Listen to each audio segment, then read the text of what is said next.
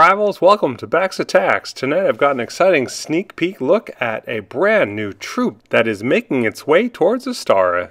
It's the Abyssal Watcher. Let's take a look here in action, and this is footage provided by Space Ape Games. And throwing down some Abyssal Watchers and some Primus Mages behind them. Now that's a really unusual combination. Looks like some uh, some necromancers got on the battlefield here. Alright, they're taking on a pretty uh, low-level base, so I think they're just showing the general feel of the troops here. They're going through it without much problem. I see little uh, plus signs coming up, some colors going on under the Primus Mage's feet.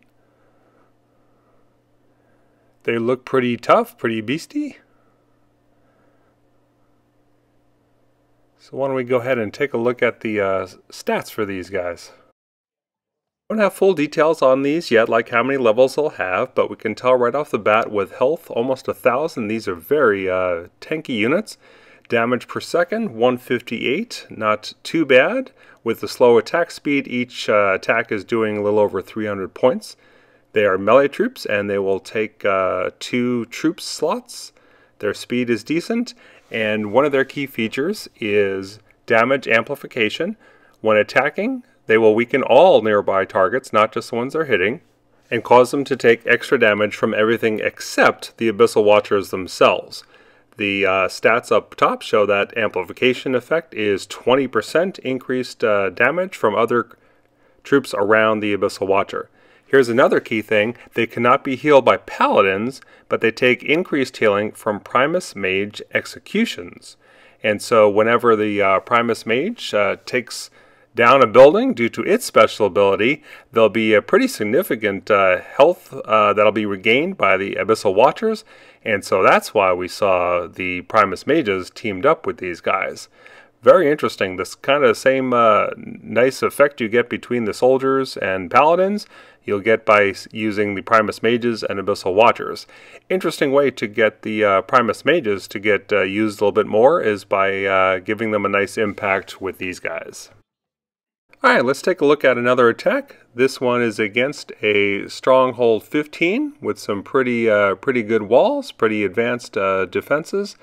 Not really seeing any mithril on there yet, though. All right, and uh, he's using Lupita as the Ancient, which is going to be very nice. That's going to provide that healing that may be a little bit uh, lacking there, in addition to the other boosts. Uh, and also notice that uh, that new Frost Dragon flying across the screen, helping to provide some uh, spell tower control here. All right, so the Primus mages are doing good damage, getting the amplification bonus.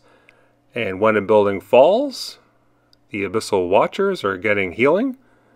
So really, their healing, uh, their health is in good shape here. When those pluses uh, pop up, that shows that's when they're taking the uh, the healing boost.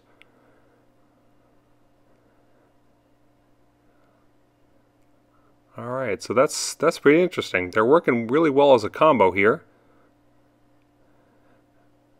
Alright, we may as well take a look at a level uh, Stronghold 16. Much higher level defenses here. Same troops are going down. Several Abyssal Watchers and the Primus Mages behind them. So they're doing a good job at uh, tanking for the other ranged troops. Let's keep an eye on their health and how quick they're taking things out. The damage is pretty good. Definitely pretty good. And between Lupita as the Ancient and their healing boost from the Primus Mages, they are their hit points are staying really in good shape. And we do have uh, Mithril on these. There's a stun catapult firing. Skywatcher against the dragon. And down goes the stronghold. All right, very nice. This is going to be a really an interesting uh, new addition, a new change to the game. We haven't seen much use with Primus Mages, or with Raiders for that matter. So it's really cool to see a new troop coming into the game. Not sure when that is, but you'll hear more from that from Space Ape. Uh, let me know your thoughts on this troop, and thanks for watching.